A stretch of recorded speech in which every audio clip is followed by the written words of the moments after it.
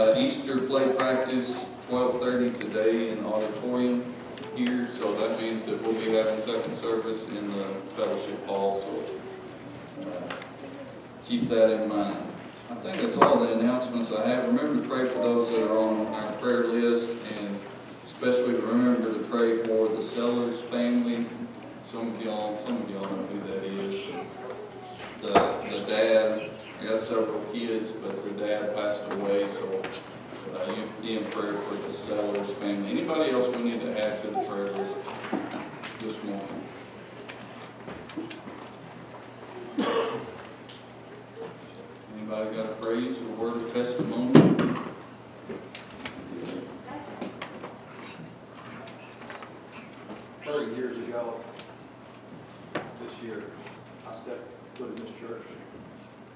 You were probably two or three years old back. Something like that. Uh, we'll go with his calculation. But I felt love from that very first day. here. And it's been ups and downs in 30 years. We've had two other church homes as we've lived across the state. Always called Highland my church home.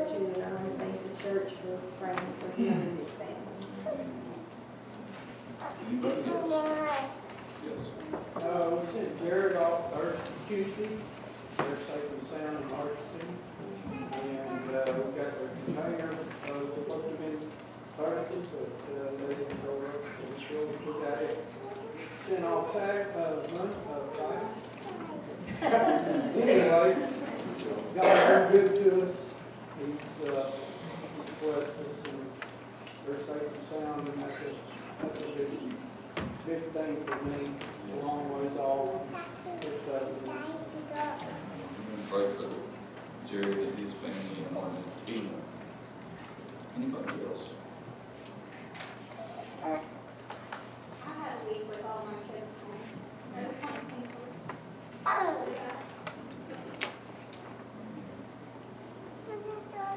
Some people were thanking the Lord, and some people were ready for school to start.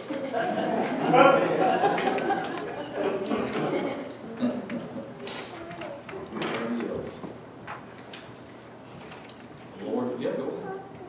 I just wanted to say, we, we, we're coming up on our first year as being members of this church and it's. And we love Floyd. Especially, but no, um, we, I'm gonna echo what the gentleman said in the beginning. We, we felt love from the first time we came. And we're so grateful for that. We left the church that loved us and we came to a church that loved us and that doesn't happen very often today. So we, we, we know we're blessed and we're just grateful. But I thank y'all for the first year and loving us then and I hope you love us until God calls us home. God loves you and we're coming, sister. I, I, I completely understand. I knew she was dying to say something. I love David too. Else? We take for granted the goodness of God, too much. All right, the ushers have come, we'll take up the offering this morning.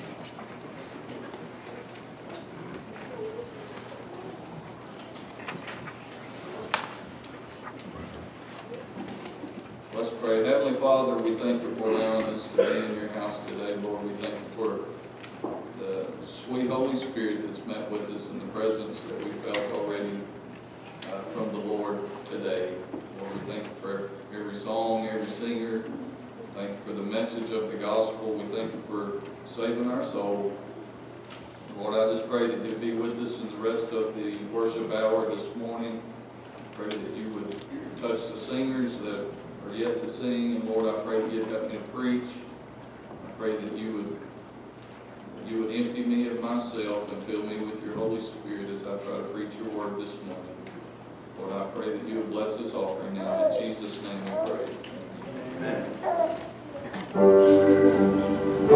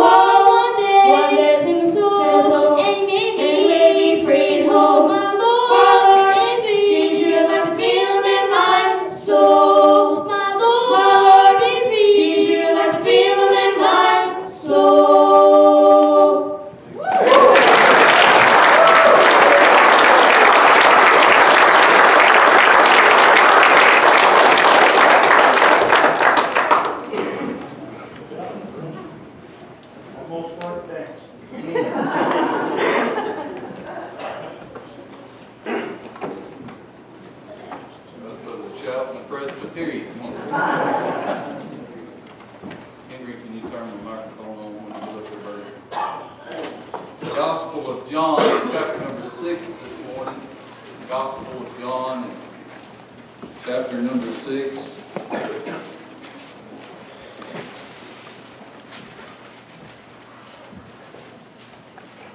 I want to begin reading at verse number 66. When get there, would you stand for the reading of the Word, please? John's Gospel, chapter number 6, beginning in verse number 66. Bible says, From that time, many of his disciples went back and walked no more with him. Then said Jesus unto the twelve, Will ye also go away? Then this next verse, verse number 68, is a passage that's recorded in all four of the Gospels. Peter's response says, Then Simon Peter answered him, Lord, to whom shall we go? Thou hast the words of eternal life, and we are sure, we believe and are sure that thou art that Christ, the Son of the living God. If that don't light your fire, your pilot's done gone out. Thou art the Son of the living God. Jesus answered them, Have not I chosen twelve? Chosen you twelve, and one of you is a devil. He spake of Judas Iscariot, the son of Simon, for he it was that should betray him, being one of the twelve. You can be seated this morning. Chapter 6 of the Gospel of John, Jesus is claiming to be Christ the Savior. In he claims to be the bread of life.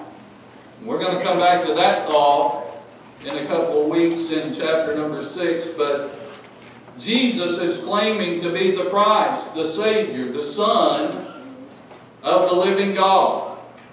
And the Jews are, as they always are, looking for a sign that He is who He says He is. Now keep in mind, they've already heard about the 5,000 people that were fed, and that wasn't sign enough. In chapter 6 and verse number 22, I believe it is, that they've already found out that the disciples were in one boat and Jesus wasn't in the boat with the disciples, but then whenever he got over to the other side, Jesus was in the boat with the disciples. So they knew he worked some kind of a miracle out there on the Sea of Galilee, and yet they're still asking for a sign. Last Sunday we looked at verse number 62 where Jesus is, I, I sense he's starting to get frustrated. This is in the, in, in the Bible, this isn't King James, it's just in my words, but it's as if Jesus is saying, How, what else do you need to believe upon the name of the Son of God? And in verse number 62, Jesus said, uh, Jesus said, What and, and, uh, and if ye shall see the Son of Man ascend up where he was before. If you see the Son of God resurrected and back into heaven, would that be enough of a sign for you to believe? By the way, just as a reminder from last week, I'm glad that the God which was is the God which still is. Amen. And in verse, after all of that, in verse number 66, it says, From that time many of his disciples went back and walked with him no more.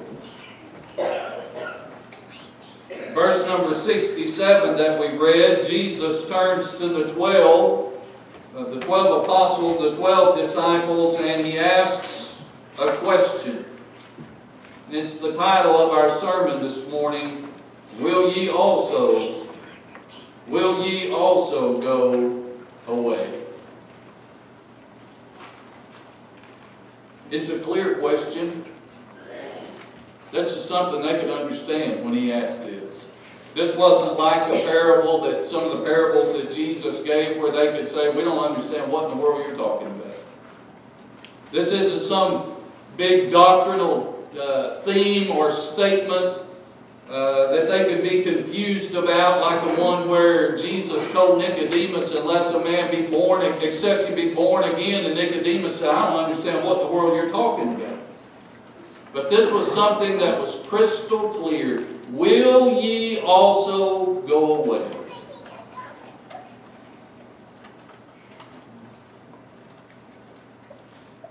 It's clear. It's a clear question. Are you going to walk away from the Lord your God? It's a clear question, it's a causative question. It demands thought and introspection and self examination. For those disciples, they had to they had to weigh it out in their mind. When he asked, Are you also going to go away? They had to bear this out in their mind. If they were to walk away from the Lord, they could save themselves some trouble. The Jews sought to kill him because he didn't fit in with their religious system.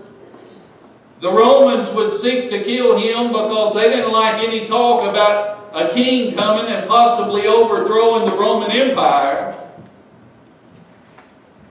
And so they could save themselves a lot of trouble and a lot of ridicule if they would just walk away now. On the other hand, if they was to find themselves halfway across the Sea of Galilee in a storm, he sure was handy to have in the boat with. So they had to weigh this out in their mind. You're going to walk away from God. I've been thinking a lot about the Old Testament character Job. And Job is a Christian hero, if there ever was one, because he maintained and finished with integrity. And I thought about Job, and and uh, and I'll get back to the text here in a minute, but just a think, just a thought about Job. He had no Bible. He had no independent Baptist church. He had no indwelling of the Holy Ghost. All that he had was that the devil left him was a wife that was no good. And yet he maintained his integrity. What did Job do? He decided that he was just going to trust God, the one that he knew about. He was just going, he decided that it was better to just go with God.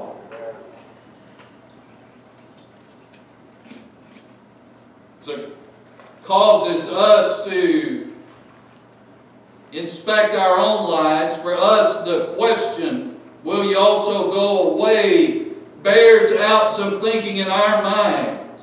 I, I could just quit, I could just walk away from the will of God and from the church of God and the things of God. I could just walk away from all of that and live life on my own terms. But on the other hand, these years walking with the Lord sure have been good. It's a clear question, but it's a heavy question. Will ye also walk, go away? Let's look at the text this morning. First of all, we see in this passage of Scripture the confession of a saint. In verse number 68, then Simon Peter answered him, Lord, to whom shall we go? Thou hast the words of eternal life, and we believe and are sure that thou art the Christ, that Christ, he says, thou art that Christ, the Son of the living God. The Apostle Peter in this text speaks of, on behalf of uh, believers, those who are saved, the redeemed of God, those who have come to realize that Jesus is our only hope of forgiveness of our sin and our only hope of heaven when we die, and they that have put their faith and trust in Him.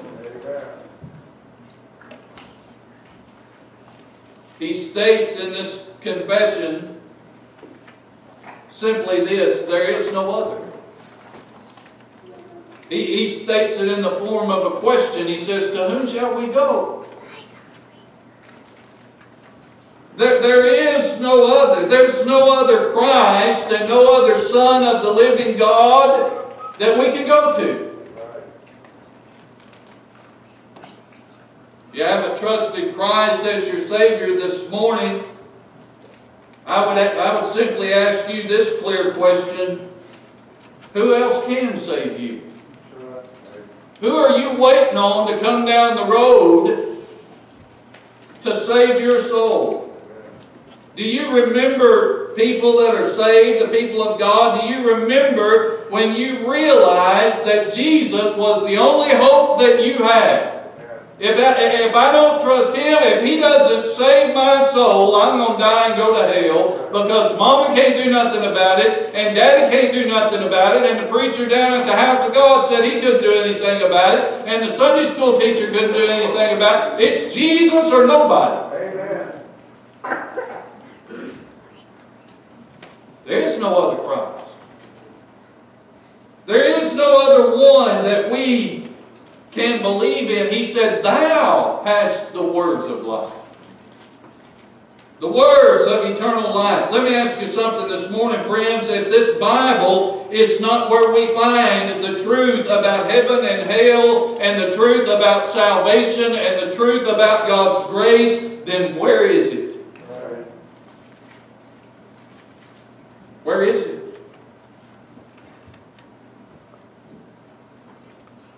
There's some folks that preaching a different message than we are. There's some folks around that are preaching a different gospel than we believe in, but I tell you, they didn't get it from the Word of God. The Bible, it has the words of eternal life. It's the Word of God. We can believe it. We can trust it. It's good from cover to cover. It's all about Christ, and it's true, every word. Amen.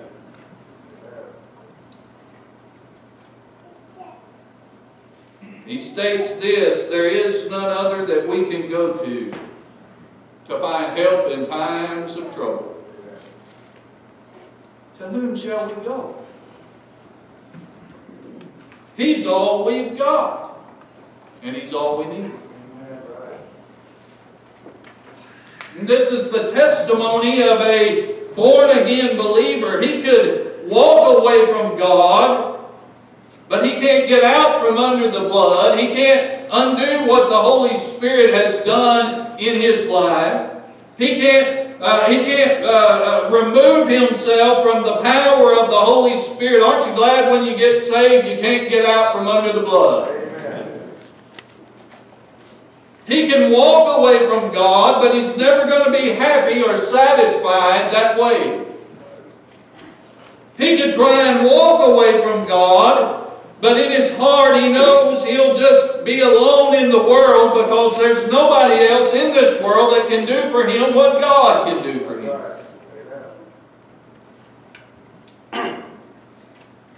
Friend, if you're not saved this morning, you need to know that there is no other name under heaven. By the way, the Apostle Peter said that too. There's no other name under heaven given among men whereby we must be saved. There is no other way. It's Christ or nothing. And if you are saved today, you need to know that you can walk away from the Lord's will, and you can walk away from His work, and you can walk away from the church, but nothing, nothing, nothing will fill that need and that void in your life except walking in fellowship with God. The confession of a saint. Peter said, Well, all I know is, is we don't have anybody else we can go to. And number two, in this text, we see the conjecture of Simon Peter. In verse number 69, uh, look at it again. He said, And we believe and are sure that thou art the Christ, that Christ, the Son of the living God. I want you to focus on this phrase right here. He says, And we believe. Notice that we. This was an assumption on the Apostle Peter's part that everyone in that circle of 12, everyone in the church, we could say, that every one of them, this was his assumption that they were all saved and desiring to follow after the Lord. But did you notice verse number 70 where Jesus answered them, Have not I chosen you twelve, and one of you is a devil? Verse 71, he explains he's talking about Judas. Peter assumed that they were all saved. Peter assumed that they were all going to walk with the Lord. What was that assumption based on? Based upon a profession of faith. Judas was, uh, Judas had professed to be a Christian. Can I get an amen right here? You can come and profess Jesus Christ as your Savior and still not be saved. You can say whatever you think your mama wants to hear. You can say whatever the preacher thinks you think he wants to hear or the church wants to hear. You can repeat a little prayer that you read on the back of a track or in the back of, uh, of, of some book somewhere, and, and, and you can make that profession of faith, that public profession, and still be just as lost as you were when you came down to the front of the church.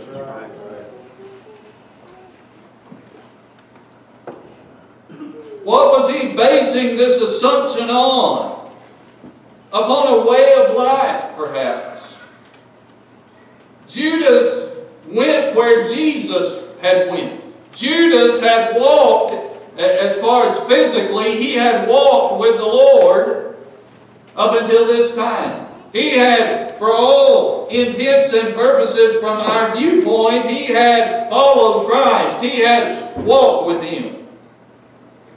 Can I remind you this morning that you can live a certain way and you can live by certain codes of conduct and morals and ethics and still not be saved.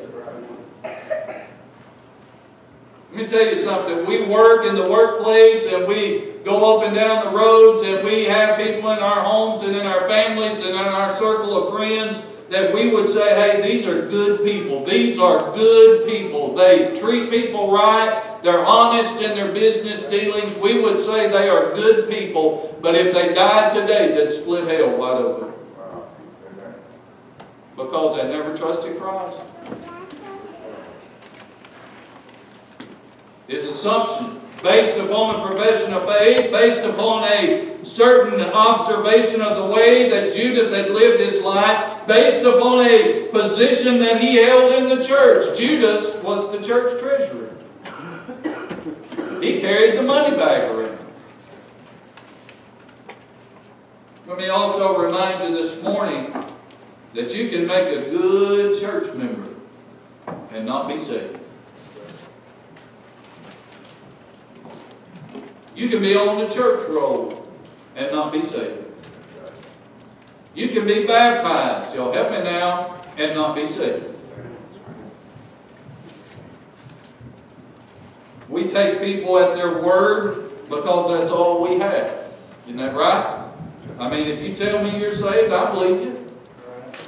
That's all that we can do is take people at their word, but we cannot be so strong in our assumptions that we stop preaching the gospel and that we stop preaching repentance. How many people in, sitting in church have thought that they were saved for years and ended up getting saved later on?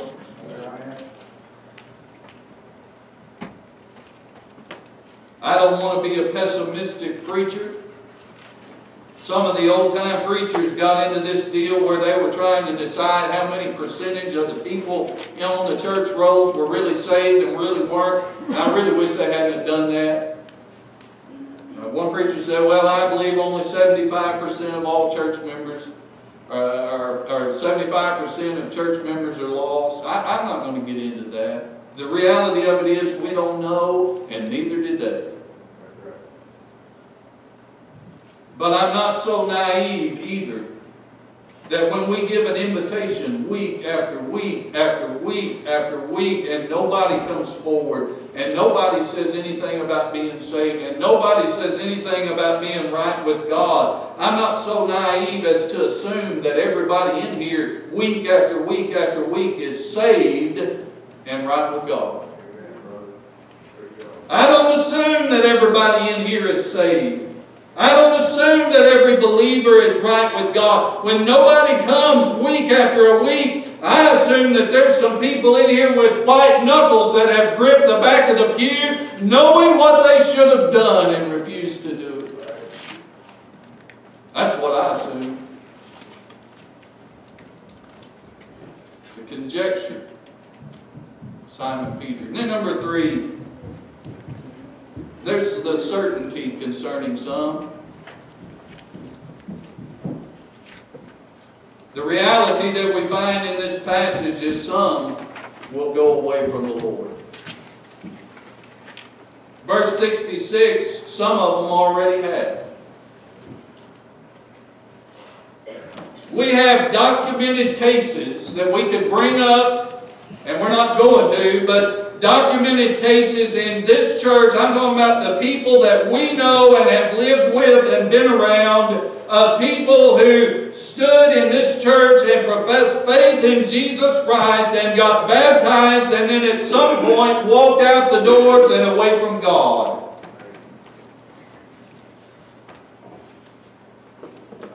Some already have walked away. The sad reality is some more will walk away if Jesus doesn't come.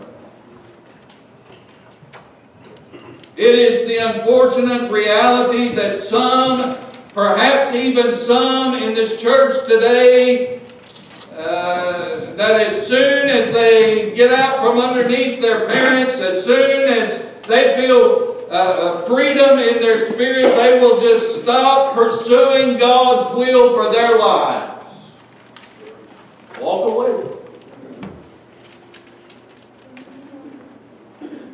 Some will go away because they're not saved.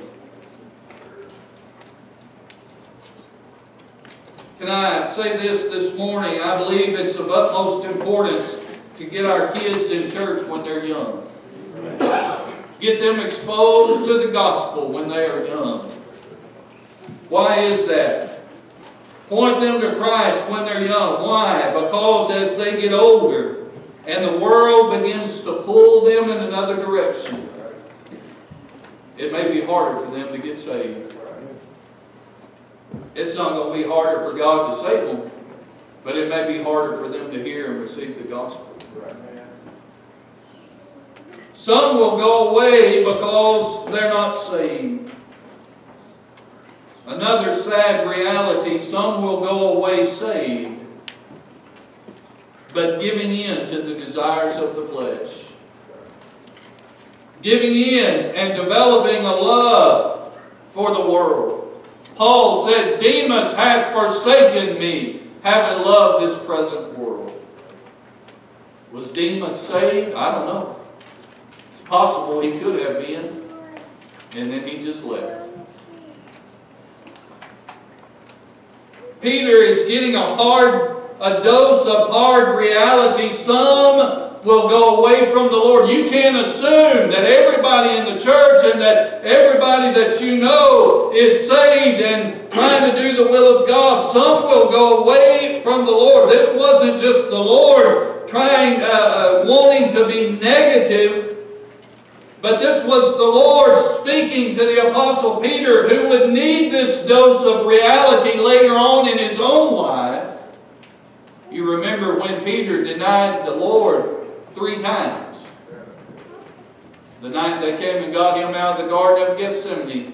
And Jesus said, Before the rooster crows, you will have denied me three times. Oh no, Lord. But he did.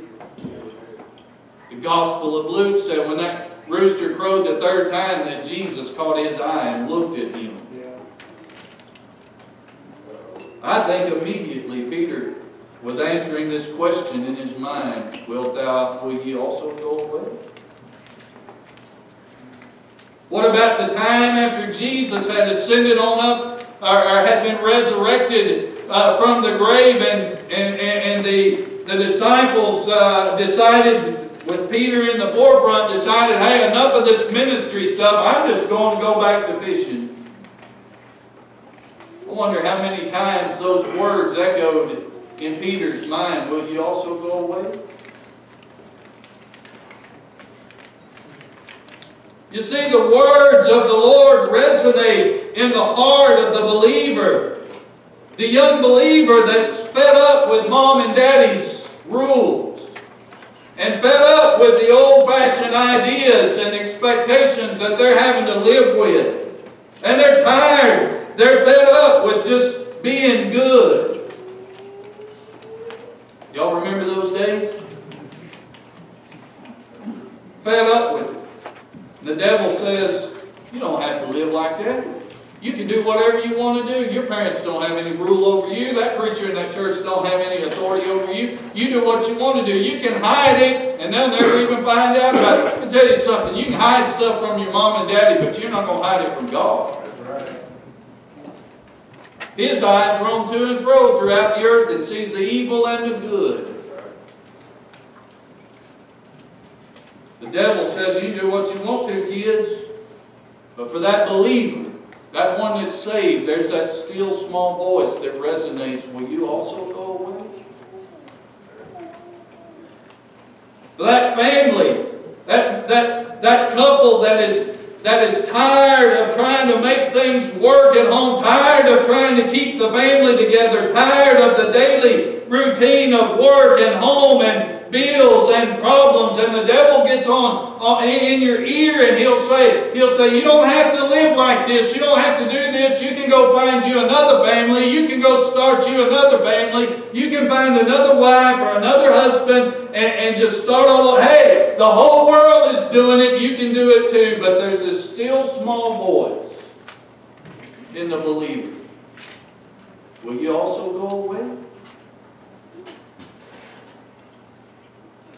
For the preacher that's fed up, fed up with confrontation in the church, fed up with a lack of interest from the church, fed up with ministry, and the devil says, You don't have to do this if you don't want to.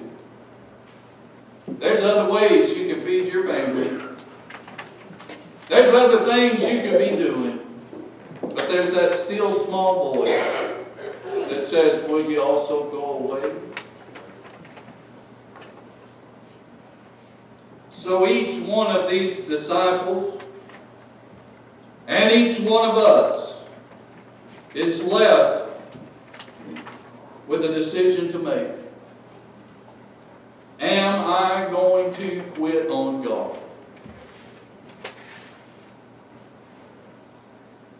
Maybe you need to be saved this morning.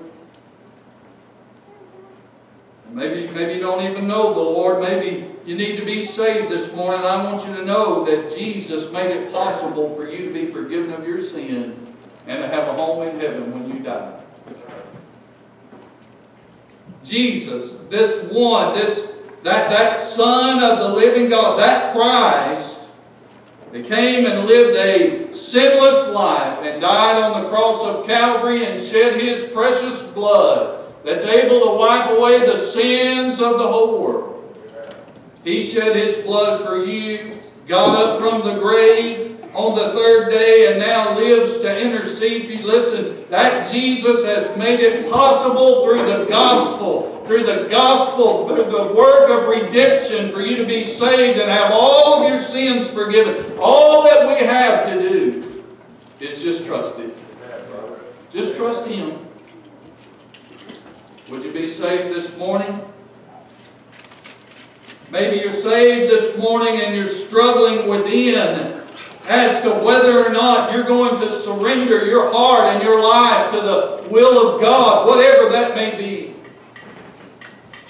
Maybe you're struggling with that today. And the sad reality is some will likely leave this church house today with white knuckles, knowing they should have done something and refusing to do it. That doesn't have to be you.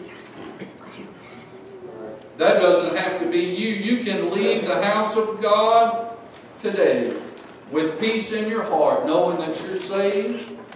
Thank God I'm saved.